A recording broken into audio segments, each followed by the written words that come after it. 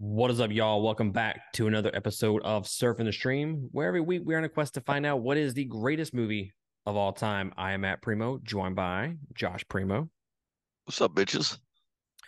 This week, before Thanksgiving, we are here to review a new movie that is out on Netflix right now. It just came out uh, a week ago, and you can check it out. Uh, it is called The Killer. Um, like I said, brand new movie that just came out. It's been getting some pretty damn good reviews. Uh, so I was interested in in watching it, not only for just to have the review of a new movie, but also because of the top ten the that I'm preparing for uh, over the next several weeks.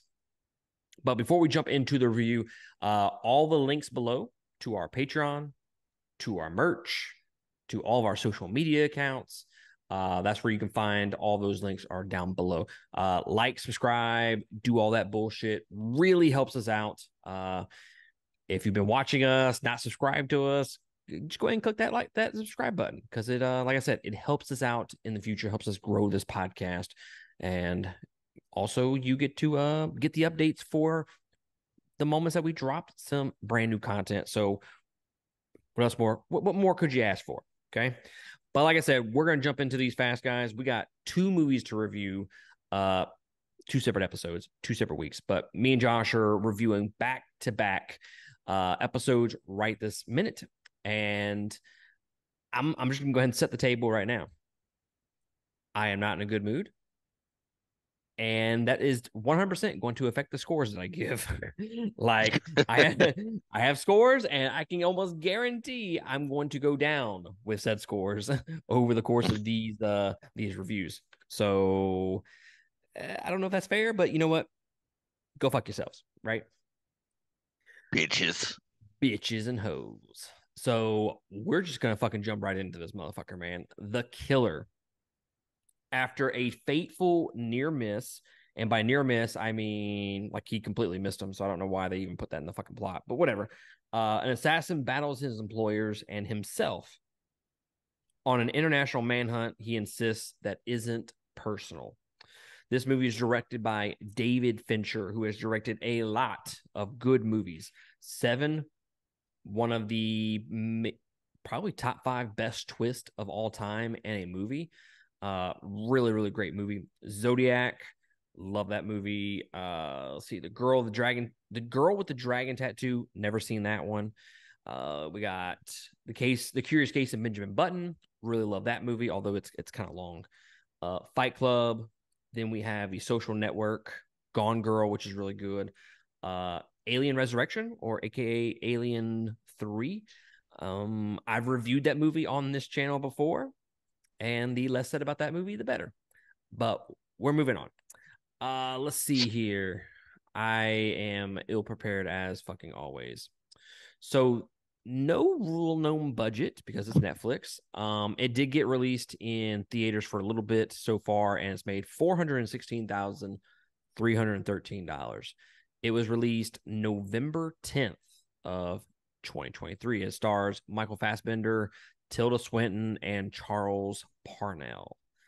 Uh, and it has a runtime of one hour and 58 minutes. And just let me get my notes right here for a second. So, this movie is based off the graphic novel called The Killer.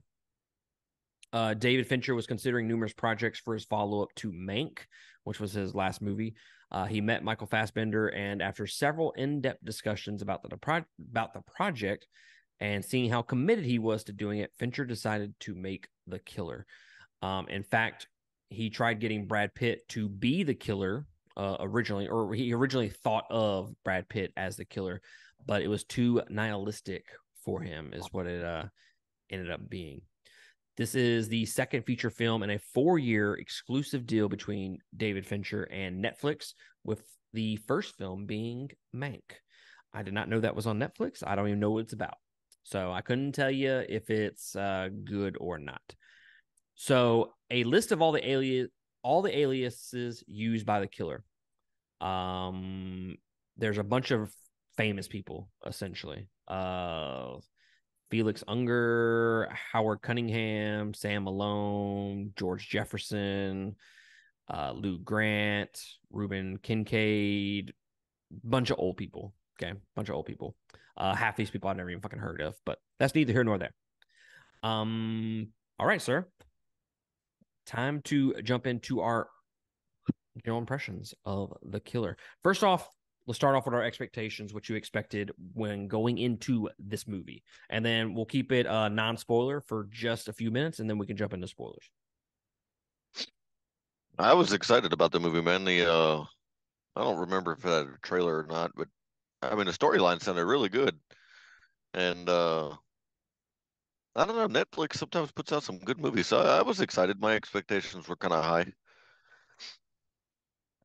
Uh, I honestly I don't know what I I don't know what I expected, honestly. Um I knew that I really loved, you know, Benjamin Button, Seven, Zodiac, Gone Girl. Like those movies are really fucking good. Especially uh Zodiac and uh I say really, but they're all fucking good. Okay, so go fuck yourself. Um uh really great movies. So I kind of expected that. I, I kind of know what I'm going to get with David Fincher, which is kind of like a slow burn type of thriller, probably. And I was expecting some kind of twist at the very end. And uh, yeah, I, I, I don't. I was I was expecting it to be really really good considering the reviews that came out. Uh, so that's kind of where my my expectations sat, sir. But non spoiler thoughts. What do you think? I already said what I think. No, like overall, what do you think? Uh, it's all right. Uh, I don't know. I felt like the antagonist wasn't developed properly in this movie. Uh, I, th- I think it had a really good story, and I think it has really good promise. I enjoyed some of the acting. Uh, some of it was off on a few characters, but I don't know. The uh, it just lacked good antagonist. Uh, and I think that was the uh, Achilles heel of this movie. I would agree. I like this movie. I don't love it. Um, is this going to be in my top 10 at the end of the year? No. No. Um, is it worth watching? I think it is worth watching. Um, I think this is going to be one of those movies that people are going to have a lot of different opinions on it once they watch it. Um, like I don't even know if I don't even know who I would recommend this movie to. If you are a fan of the movies that I listed before, you know, fans fans of David Fincher, the actual director, that's kind of the tone and the style that you're going to be dealing with in this movie. And if you are a fan of that, then I think you should absolutely check this movie out. If you need action, action, action, action, and whatnot, I, I don't know if you're going to find that in this movie. There's legitimately like one action sequence if you don't count the just him shooting some people. But uh yeah, I I would recommend it. I think you could do a lot worse out there. Um, but it left a little bit to be desired. Um, like it, don't love it. And then, like Josh said, I think they didn't really hammer down who the antagonist was, or plural, the antagonist, and really develop those characters at all. So now it's just him just going from point A to point B, essentially. And uh eh, it's, it's, it's one of the biggest downfalls in the movie, 100%. But those are our non spoiler thoughts. Now we're going to jump into the spoiler discussion. You have been warned. All right, sir. I like it, don't love it. And honestly, I other than the antagonist, this is one of those movies when you watch it, you're like, what did I not like about it? You know, like like you sit there kind of confused about what was really the thing that kind of turns you off on the movie. And that's kind of how I felt at the end of it. Like it kept my attention for the most part. I think it was a little it was a little slow. It was a little slow. Um, I think the pacing is just it needs to be fixed just a little bit. Um, but yeah, at the very end of it, I I couldn't sit here and tell you, oh, this one, this thing, this thing, this thing. Those are all huge issues with it, and I don't like the movie. And on the flip side of things, I can't really tell you why I like it either. It's like there's stuff that happens in the movie, but there's like stuff that doesn't happen in the movie. Does that make sense? This guy just said there's stuff that happens in a movie, and then there's stuff that doesn't happen. I believe that's all movies. like it, I don't know, man. It, it it felt like it felt like they didn't give me there's there's one scene in particular, and it's the action sequence, which the dude the dudes the two dudes fighting each other. That's the most memorable scene to me. But everything else And is it- just it's just Uh, okay. that scene irritated me. Why? Because it looked like a comic book movie? Uh, it was too fucking dark, man.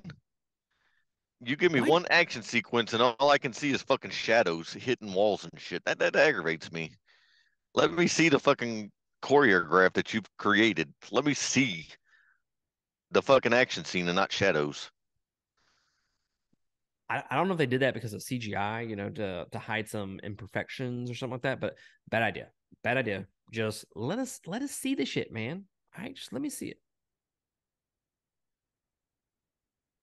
Yeah, but I tell you, I had a big uh chuckle because I all I could think about was on the Friday after next when uh Chico fed that dog that uh the weed brownie. I That dude was it in so feeding the dog hamburger. That the the dude was feeding the dog hamburger meat with Benadryl, and uh Chico got fed uh marijuana brownies. Yeah. Okay. Yeah, All right. fuck you. Hey, moving on. Fuck you, motherfucker.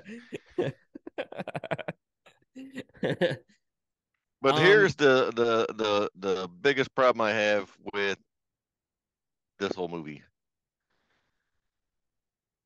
You're lined up with two and the two people that give out the orders, right? The lawyer and the secretary. And then he hired two assassins and then the customer. And one of them he just has dinner with and she's okay with it. She's like, "Eh, you win some, you lose some." I mean, that should have been something there, you know, some more meat and potatoes. And then it was just like, if this guy's an assassin, why the fuck would he be so irresponsible with what he does, you know, going to the casinos and shit like that and leaving his doors unlocked? And then you get to the customer at the end, you're expecting a final payoff, and the dude's like, So I don't have any problems? No, I'm good with you, man. I'll be back if I need to be. he, he straight It was that. He's like, "We cool, bro?" Like, fu- totally fucking didn't mean no disrespect. To- no disrespect.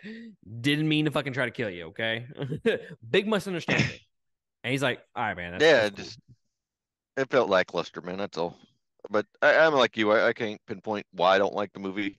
I don't not not like it, but I mean it was fair to watch.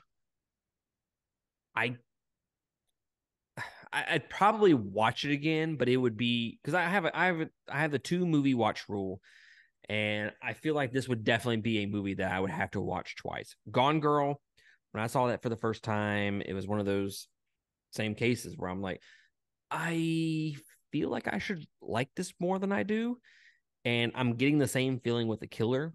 But I mean, I watched Gone Girl one more time, and I really enjoy that movie, so my opinion changed. So maybe you would do the same with this one. Um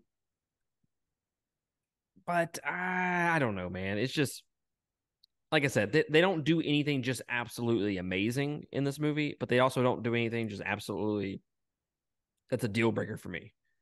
Other than the antagonist issues. Now, Michael Fassbender's acting in it is really, really good. I, I've really enjoyed his his his acting throughout the entire movie. Um, he definitely played he he he played the character about as good as you can play it. I think. Um, I as far as but as far as like the individual scenes, they're just not memorable to me. And No, I don't know no. when you wh- this this movie feels like a Hitman game. I don't know if you ever play those games. No, I never did play those. I, mean, I was feels too like busy. Fucking bitches. You know, if I if I probably didn't have a huge like a long day, and I would probably have a good comeback for that. But I'm just gonna let you have it, son. I appreciate it, man. I've had a long day, and that's the best I could come up with so far. I'm just I'm just gonna let you have this one, man. Just gonna let you have it. uh, hell, uh let's see here. Just some of the individual characters, like the Tilda Swinton at the very end or towards the end, they had a chance to make her a super interesting character and they just kind of squandered it. She's not that bad of an actress. She usually had like in her movies, she tends to be one of the more interesting characters. I don't know, man. They they fucking wasted her in this one. I know that for sure. She sits down and she's like, I'm gonna get a drink. You want a drink too? Let's talk. And then the bitch falls down and she's like, help a lady up. And then he fucking just caps her. And I'm like, well, goddamn, man, that's fucked up. Whatever. Yeah. Yeah, I felt like her character had promise, man. Like it would have been fucking awesome to see like some action sequences. Like he has to chase her through town or something, you know? Something. Give me some action there, man. Yeah, fuck. I don't know. I, I do like. I don't know if you've know if you picked up on it. There is some. I don't want to call it dark humor throughout, but there's some subtle nods to humor throughout the entire movie. And one of my favorite moments in the entire movie is when the lawyer he does the little nail gun to the lawyer's chest, and the lawyer falls over, and he's like, he should last six to seven minutes and then the lawyer the lawyer immediately dies. I was like, and Yeah. he goes, "Oh fuck." It's like you you can just imagine him sitting in his state, uh, being in his head and being like, "Yeah, I, I definitely overcompensated for that." That you know, if they would have put the same care into, you know, showing him how he gets into the office and shit like that throughout the whole movie, I think it'd have been better. Because I found that shit interesting, how he was sneaking in and how he was sneaking the body out and shit. You know, it was just, I I think it was some missed opportunities for some suspense as well. Oh yes, I, I really dug those moments. Like he put him puts him in the trash can and all that other bullshit. And it's almost kind of it kind of kind of almost has some like some tension there because you think someone's gonna catch him or some shit. I wish they would have added that into the movie. Like, hey, what you got in there?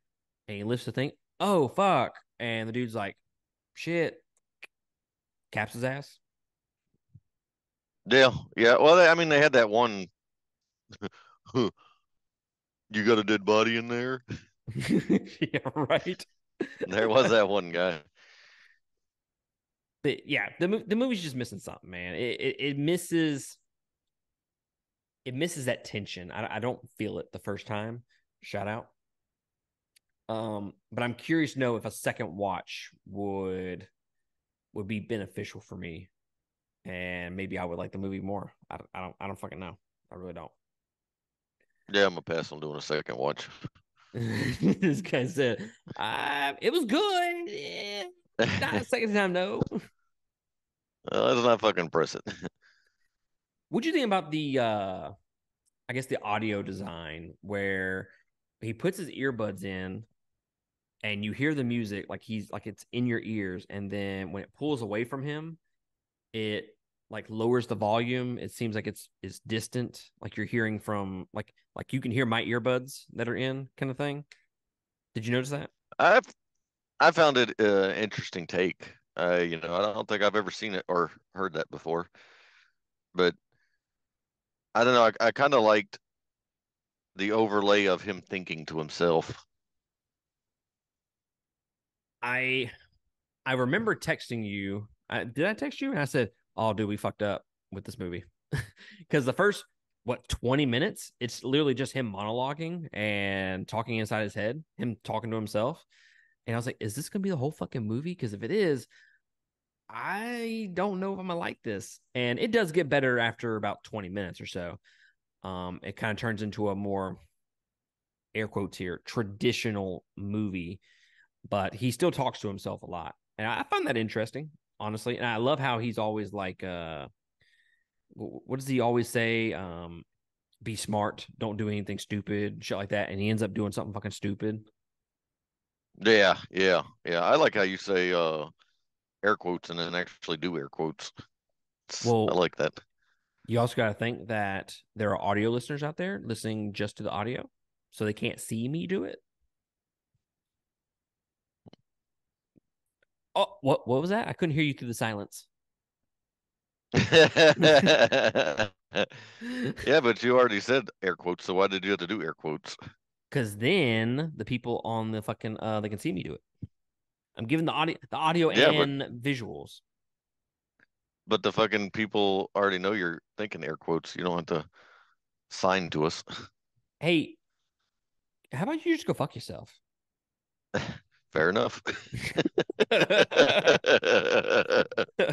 goddamn. Like you're riding my dick about me fucking doing some Uh, air quotes, man. Like, goddamn, get off my dick. Hey, it's always something, man. Motherfucker had farm animals last week. It's fucking air quotations this week.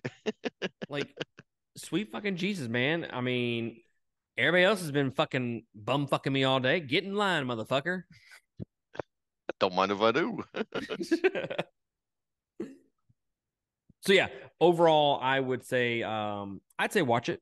I'd say watch it. Um not one of my favorite movies of the year. I probably will end up giving it a uh, a second watch before the end of the year before I do my final top 10 episode.